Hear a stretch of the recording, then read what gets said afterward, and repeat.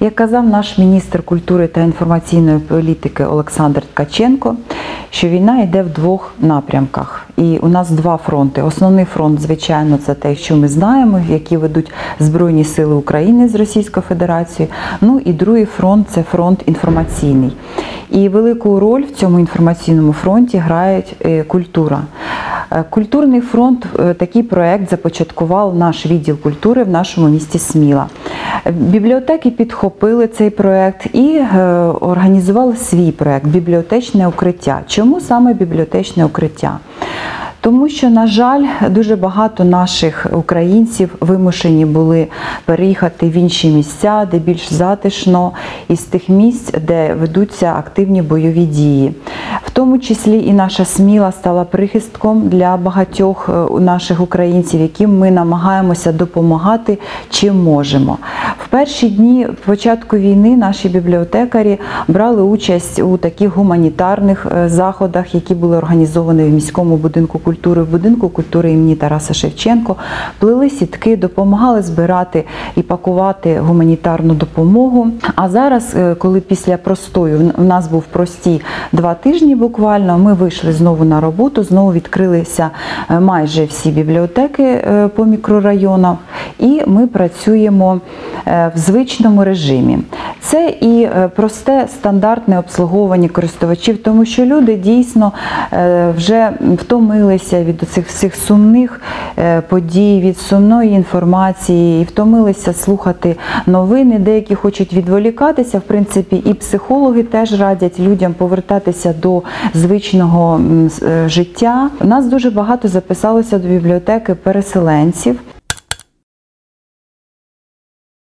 В цьому от саме в такому глобальному проєкті бібліотечне укриття ми організували і центр психологічної підтримки переселенців, який, до речі, веде Тетяна Доценко, яка сама вона уродженка міста Сміли, але останнім часом вона жила на Київщині і вона зараз вимушена була е, переїхати назад до Сміли. І вона сама тренер і проводить тренінги, як боротися зі страхами. Всіх бажаючих запрошую і смілян, і е, гостей нашого міста відвідувати наші ось такі заходи щочетверга з 11 години. Щовівторка, е, теж на 11 годину, ми е, організували чисто для вимушених переселенців такі зустрічі з бібліотекарями. І люди можуть поділитися тим, що вони пережили, можуть обговорювати просто якусь художню книгу, можуть обговорювати події. Організовували також майстер-класи з виготовлення якихось орігамі. Тобто люди відволікаються, відпочивають, спілкуються, і це все теж як психологічне розвантаження відбувається. Ми отримали в цьому році нові періодичні видання. На початку війни ми нічого не отримували, а зараз вже пішли газети, журнали. Я запрошую всіх бажаючих в читальний зал відвідати їх. На минулому тижні отримали е, нову літературу е, з обласної універсальної наукової бібліотеки, теж за державною програмою підтримки публічних бібліотек. Література просто на сьогодення дуже актуальна. Вона вся україномовна, вся українська. Це жодної книжки немає художньої. Вона вся історична, патріотична. Е, Це і про Київщину, як засновувалася Київщина, і е, про війну 14-го року, і історія української національності нашої. Книжки дуже гарні, шикарні. На 17 тисяч гривень, там 64 книги ми отримали. Тому я також запрошую бажаючих ознайомитися. При бібліотеці у нас щоп'ятниці працює арт-студія Палітра, яка працювала ще до війни. Ну і зараз вона відновила свою роботу. Веде її наша відома е, і знана е, і поважна поетеса і художниця Ніна Корсунь. Ця е, арт-студія працює щоп'ятниці на 14 годину. Теж бажаючих запрошую, тому що вона для дорослих людей, які, в яких є талант до малювання, і вони в нас малюють. І Ніна Васильівна направляє, допомагає реалізувати свої оці таланти і здібності. Продовжує працювати інтернет-центр. Де є 5 комп'ютерів, на яких е, всі і е, сміляни, і вимушені переселенці можуть працювати, користуватися оперативною інформацією. Крім того, є Wi-Fi, можна і на своїх гаджетах користуватися цим послугами інтернету. Ми надаємо послуги друку. І, наприклад, от з теробороною ми тісно співпрацювали. Вони друкували у нас фотографії для посвідчень е, членам тероборони. Крім того, переселенці часто в нас е, просили сканувати їхні документи, і трудові книжки, і паспорти, і надсилати там на своє місце проживання. І був такий певний обмін. Ось такі послуги ми теж їм надавали. Оскільки ми знаємо, що зараз всі учні в основному навчаються дистанційно, ми запрошуємо е, відвідати наші бібліотеки, де в нас є інтернет-центр, і скористуватися комп'ютерами нашими і нашим інтернетом для того, щоб продовжувати дистанційне навчання. До нас звернувся благодійний фонд Допоможемо е, армії разом. Е, Це фонд збирає гуманітарну допомогу для того, щоб потім надсилати Збройним силам України на передові точки.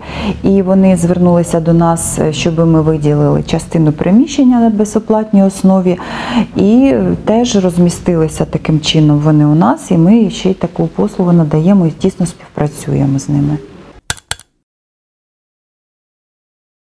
Центральній дитячій бібліотеці у нас ще від вівторка проходять е, майстер-класи з 14 години для дітей вимушених переселенців. Але там не лише майстер-класи, а в в рамках проєкту Бібліотечне укриття ще проходять різноманітні зустрічі. Ось, наприклад, на е, наступний вівторок у нас запланована зустріч з Вікторією Сінаєвською. Це місцевою нашою поетесою, письменницею, такою активісткою, яка дуже любить дітей і з дітьми працює. Ми запрошуємо на зустріч з нею. Ну, анонсую ще наперед, що вже в травні, е, 3 травня, планується зустріч із фотомисткинею Олією Іванченко, яка теж зробить майстер-клас з фотографування. Е, Крім того, е, у нас постійно, постійно щовівторка відбуваються ось такі зустрічі з дітьми. От на цьому в цей вівторок діти виготовляли патріотичні ангелочки, які планують відправити теж разом з гуманітарною допомогою, передати нашим воїнам, які зараз на передовій. Дуже приємно те, що ми продовжуємо таку тісну співпрацю із Сенді Бекінгем, з нашою колегою із штату Міннесоти е, із Сполучених Штатів Америки, яка з нами спілкується, запитує постійно, що нам потрібно, що для того, щоб допомогти якось Україні, українським дітям, особливо тим, що вимушені е, були е, із своїх покинути свої домівки. І е, вони популяризують також нашу інформацію, вони допомагають якимись речами, іграшками. Наша бібліотека філія номер 5 яка знаходиться е, в мікрорайоні радіоприладного заводу, також активізувала свою роботу під бібліотечним укриттям під цим проектом Е, з самого початку війни, е, оскільки в них працює арт-студія, а саме такий печворк у них є, то майстрині печворку почали виготовляти державні прапори. А зараз ця арт-студія працює щочетверга, бо раніше до війни вона була щосуботи, зараз вона щочетверга з 10 до 11 години. Там працюють майстрині, люди збираються і кожного разу вони якісь види хендмейда опановують. Також хочу відмітити іще бібліотеку філії номер 2 яка знаходиться у мікрорайоні цукрового заводу. Е, Там ведеться дуже активна робота із соціальними категоріями дітей. Крім того, і діти, і дорослі дуже люблять ту філію, дуже активні. Читачі організовують виставки своїх робіт. Це і вишивка, і е, вироби солоного тіста, і е, художні картини. Діти е, соціальних категорій, які мешкають тут поряд в гуртожитку, і взагалі відвідують діти учні четвертої школи дуже часто люблять відвідувати цю бібліотеку. Вони там просто приходять і проводять вільний час, читають книжки, розмальовують різні розмальовки, займаються за комп'ютерами, е, теж там граються.